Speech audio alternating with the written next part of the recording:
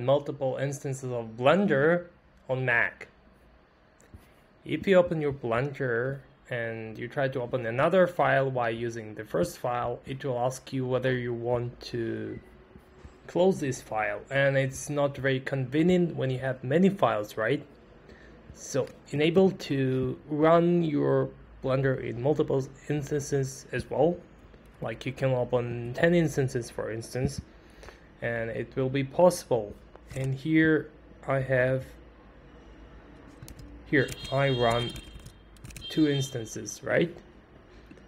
Actually, I'm not because I'm only running one instance at once. Here, for instance, I removed these vertices and I haven't changed those. Uh, I, I mean, I changed the file, but I haven't saved it. And I try to open another file. It, it will ask, do you want to save changes? Um, I'm not sure about that right now, so I hit cancel, but I'm unable to open the second file. What can you do?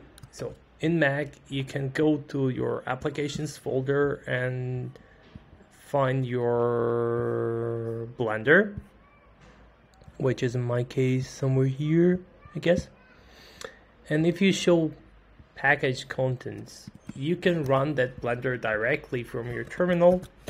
And yes, you are able to run two instances for the same time, but it's kind of not very convenient, right? uh, you can drag your file to open, um, but it's not very convenient, right? Yeah, it's not. And there's another option. You can use Automator and create an application to run another instance of Blender by, by just typing run run shell script and under shell script you just copy your path to Blender here, that one in my case. Maybe it's the same in your case as well. Let's close it anyway, terminate. Here, um, you save it. Here, you can try to run it first, and as you see, it runs. And then you create your app, which you can call Blender 2 or multiple instances of Blender. Let's save it as save it as your app Blender 2 or X2 maybe it's better. Blender times 2 that's something very strange anyway maybe you can save it to applications folder so you'll be able to see it in your launchpad. But you need to change your icon as well. And as I created I can close it first and no need to save it here. So if I go to applications folder, I can see that instance right now, that another instance of Blender here, which is not very awesome because it doesn't have that icon of Blender, right? So you can change it by copying this icon from Blender, that one. You copy it to your contents and resources, and as you see, applications tab, stop, delete it and rename this Blender icon. And then I'll recreate this app from the scratch. New document application run run shell script and options let's just save it we'll save it as blender times free and here we go that is a new app and I'm still not able to run it. Oh, I'm able to run it actually. So that's how it works. You can run as many instances as you want by recreating those scripts again and again.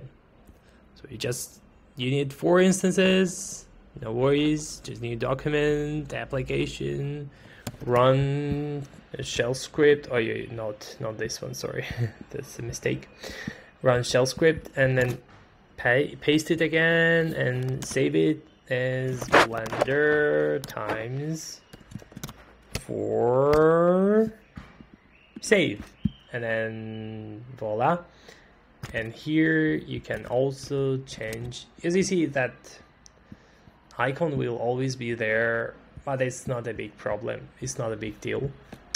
In all, all times, I was able to make Cinema 4D to use a proxy only by using AppleScript approach because it was the only solution to force it to use a proxy instead instead of normal network direct network.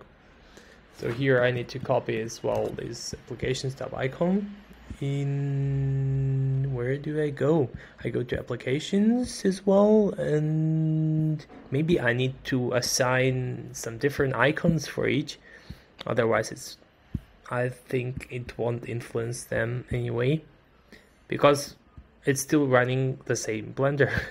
So it still will show up the same icon. Here. Replace. And replace. Here. Here I'm able to run four instances of blender uh, at the same time by just using this simple approach. I hope it helps you to achieve more goals in Blender. And stay tuned. As you see, let's try to open several files at the same time. I want to open which one, which one, which one? I want to open. Okay, here. I want to open this one and allow. I will ask every time I need to access a new instance of Blender. It will re-ask every time. Okay, and then I want to open this file. And in this instance I want to open let's say bottle of coke file. And in this instance I already opened opened not opened yet. Let's open something else. Let's open something from the test. Maybe test will be nice. Yeah because it's kind of not very big file but anyway it has animation inside. And here I can play at the same time while using different instances and playing them as well. Uh, it doesn't play anyway. Let's go to this one. This one will play anyway. Good.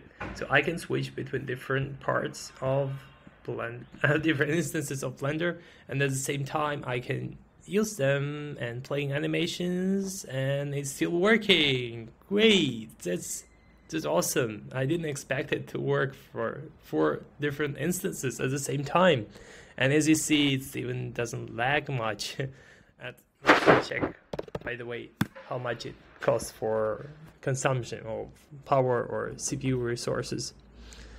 Yeah, it's kind of energy impact memory CPU it doesn't show up. Why? Ah, there it is. So let's find Blender. Blend. Here, here we got the first instance, the second instance. Well, it consumes around 66% of CPU power, which is kind of a lot. And how about memory? How about memory? It consumes around 1 gigabyte or something, even more yeah, that was reasonable and expectable. And it doesn't show up network requests from, from Blender. Let's check. Actually, yeah, it doesn't request anything from outside. In that was expected.